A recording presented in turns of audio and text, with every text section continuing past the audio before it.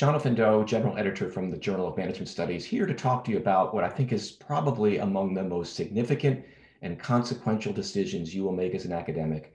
And that is where are you going to spend your career? And more specifically, what institution will you be situated at, at least initially when you complete your PhD? And this is a really complicated uh, set of questions that, that is in front of you. And I'm going to try to break, break it down into kind of its component parts because I think there are maybe four or five key sets of variables that you want to consider. The first is geography. You may have preferences to teach in a certain country or region. You may have constraints. You may have a spouse whose job is very tied to, say, large urban cities, or perhaps is in a profession where there are particular concentrations in different parts of the world or particular countries. So you may have some constraints in terms of the geographic um, expanse that you can consider as part of your, your job search. Another would be culture. And this is related to geography because culture occurs, of course, at the national level, it occurs at the subnational level, and it, it occurs at the institutional level. So you'll want to think about what kind of culture you're comfortable in. I would say some schools might have a more competitive culture where people are striving for success. And sometimes that means having some sharp elbows or some uncomfortable moments. Other cultures might be much more collaborative or more relaxed or more easygoing. And that's hard to tell from the outside without actually visiting the university or, or college in, in question. Another set of variables would have to do with the kind of colleagues that you will be working with. These are colleagues that will be part of your tenure and review process if you're in a, in a tenure track position. Uh, they will be colleagues that will be evaluating you. They may be assigning you to committees, and ideally, they'll be people that you'd want to work with and collaborate with. So likely you're attracted to institutions where you know something about the faculty there. Uh, perhaps you have read or admired some of the work of those faculty, or they may be faculty that you want to get to know better because they're working in your particular domain. Um, now, in North America, we have this interesting vernacular where we put universities and business schools in categories. Like we might talk about a group of schools that would be teaching schools. Uh, and another uh, terminology we use is R1. R1. What is R1? That means that these are the most research intensive universities as part of the Carnegie classification scheme. And in North America, that generally means Ivy League schools and large state universities.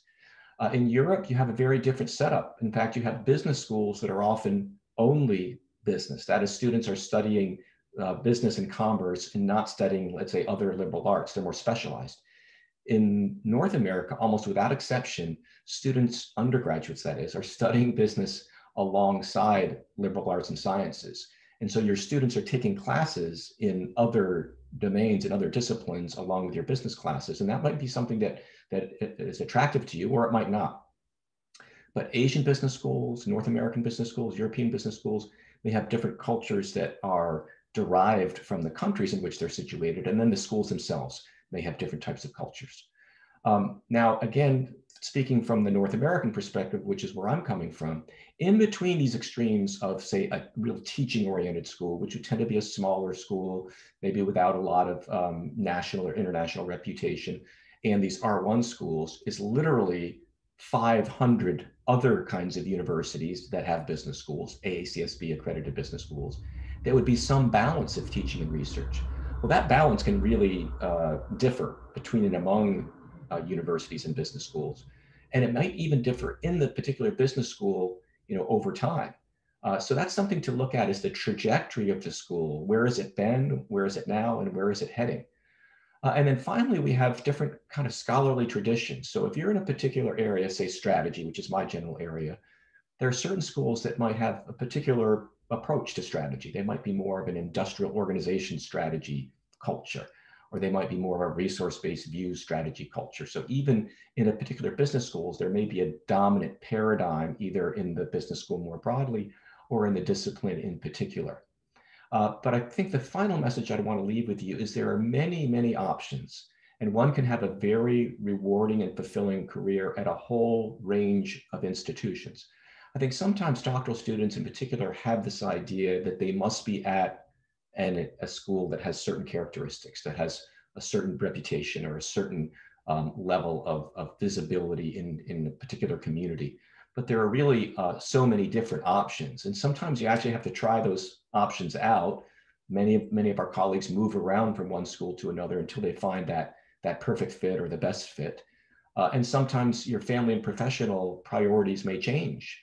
You may start really wanting to be at a pure research oriented school, but then decide later in your career you're more interested in administration or teaching or the other way around.